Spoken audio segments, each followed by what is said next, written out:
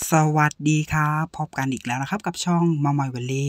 คลิปนี้เราก็จะมาพูดถึงนภาเดช คนนี้อายุแค่ 20 ปีนะครับ แต่ skill ต่างๆ ไม่ธรรมดาจริงๆ เป็นเด็กที่มีพรสวรรค์มากครับ skill การรับดี การตบที่หนักหน่วงมากๆ หรือจะเป็นการแก้บอลในสนาม ก็ทำได้ดีมากนะครับ ถือว่าเป็นนักกีฬาที่เป็นเพชรเม็ดงามของวงการวอลเลย์ชายไทยจริง ๆ ก็เป็นกำลังใจให้ในการพัฒนาต่อไปเรื่อยๆนะครับ แต่การกำเนิดนภาเดชขึ้นมา ถือว่าทำให้ไทย